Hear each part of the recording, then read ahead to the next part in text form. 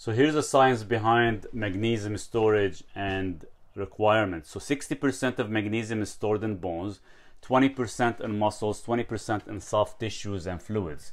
So why you need it every 4 hours? Because magnesium plasma half-life is roughly 4 hours. So spacing intake keeps blood levels steady and improve absorption.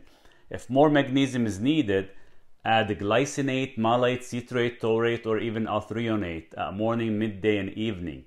Now keep in mind there is some synergistic effects of other supplementation could be included, such as taurine because it moves magnesium into cells and modulate calcium channels. You have vitamin B6 increases magnesium cellular uptake.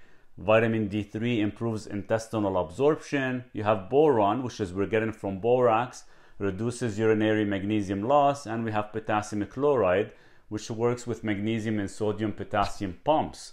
Low potassium reduces magnesium retention.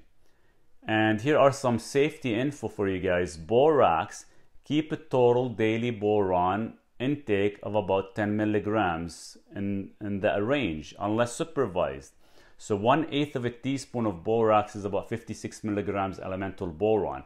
I use it for specific reasons it maintains high levels of magnesium for protein absorption, but to indirectly protecting arteries.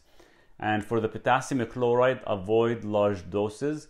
High intake can actually cause heart rhythm changes if not balanced. And for the Dead Sea salt, very high in minerals, so start very, very low to avoid excessive intake of certain trace minerals. Also, don't forget testing RBC magnesium and keeping it at 6 milligrams per deciliter or higher. That's the range linked to optimal cardiovascular, muscular, and neurological health. Cheers.